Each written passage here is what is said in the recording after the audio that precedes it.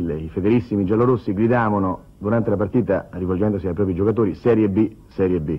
Ora sentire un grido così amaro dai federissimi della curva sud è abbastanza emblematico, ma eh, questa crisi della Roma viene proprio dagli uomini migliori, quelli che dovevano rappresentare la base, un Paolo Conti, reduce da un infortunio, un mezzo infortunio la domenica scorsa contro il Catanzaro, oggi ha avuto un altro incidente, una, sembrava una parata facilissima sul tiro di testa di Graziani che è tornato al gol dopo mille minuti, ebbene è, il portiere ha sbagliato, non ha fermato la palla e gli è sfuggita attraverso le gambe, un gol incredibile che ha messo in ginocchio la Roma. Del, del resto poi lo stesso Di Bartolomei eh, non è stato capace di interpretare il ruolo di De Sisti e Pruzzo è stato costretto anche a uscire dal campo per un infortunio alla gamba. Il Torino da parte sua ne ha approfittato di una Roma così povera, così povera di caratura tecnica e quindi con un gol per tempo ha portato a casa il risultato. Radice uscirà prima dalla convalescenza, gli facciamo i nostri auguri al bravo tecnico Granata, però quando tornerà sicuramente avrà da fare perché il Torino non è, non è il Torino dei bei tempi, ha ancora molte cose da rivedere, abbiamo visto